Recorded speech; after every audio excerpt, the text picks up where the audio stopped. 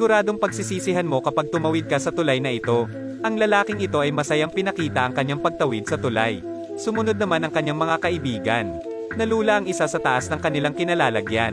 Nang makatawid, isang boses ang narinig ni Paul na tumatawag sa kanya. Sinundan niya ito at nalaglag sa isang butas. Nagulat ang mga kasama kaya hinabol siya. Dahan-dahan silang bumaba para hanapin si Paul. Nakita nila ito nakatitig sa isang kalansay. Sinubukan nilang kausapin si Paul ngunit tulala na ito. Nang lapitan niya, may binulong ito sa kanya.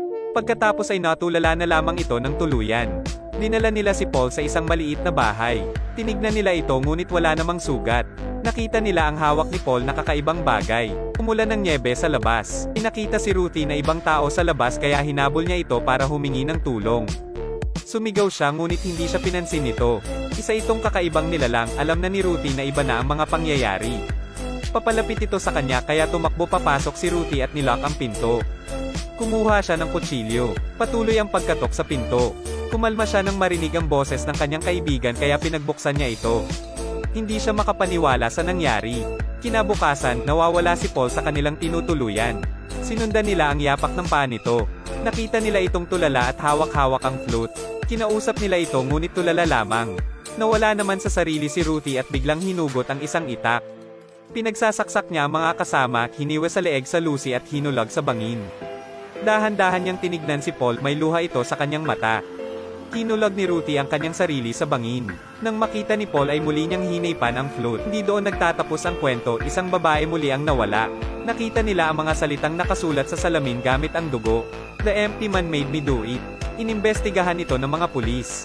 Ito si James at si Nora. Nawawala ang anak ni Nora kaya nagpapatulong kay James na dating detective.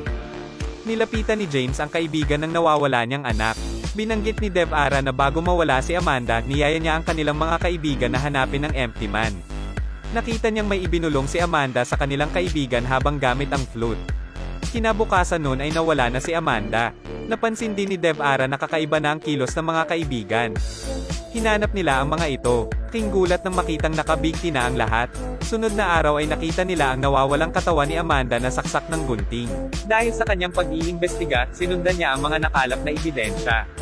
Pumunta siya sa isang maliit na lugar sa gitna ng kagubatan. Nakita niya ang mga di pangkaraniwang bagay. Isang video din ng lalaki ang nakita niya sa computer. Nagpatuloy siya sa paghahanap ng mga detalye. Nalaman niyang kulto ang dahilan ng lahat. Nakita niya ang grupo ng mga taong nagsasagawa ng isang ritual sa apoy. Lumaki ang apoy at biglang dumilim.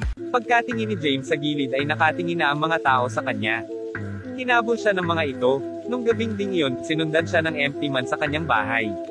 Hahampasin sana niya ito ngunit nawala. Hinabol niya sa labas ngunit wala na ito. Nakita niya muli ang itim na teddy bear. Sinabihan niya ang mga pulis sa kanyang mga nadiskubre. Nalaman niyang ang empty man ay nasa ospital. Dito ay kanyang nasaksihan ang pagsamba ng mga miyembro sa lalaking nakahiga. Nakita niyang ito si Paul, ang unang sinapian ng empty man. Bumalik siya sa nakakatakot na lugar. Nakita niya ang mga papeles na pagmamayari ng kulto. Laking gulat niya nang makita niya ang sarili larawan. Bakit mayroon siya litrato dito? Bumalik siya sa ospital upang tignan ang empty man. Nakita niya si Nora kaya't nalaman niyang mula pa noon ay miyembro na ito ng kulto. Sinabi ni Nora na dahil nanghihina na ang katawan ng kanilang pinuno ay kailangan na ng isang taong lilipatan ng espiritu ng empty man. Hindi makapaniwala si James sa pangyayari kaya sinubukan niyang kalabanin ang empty man.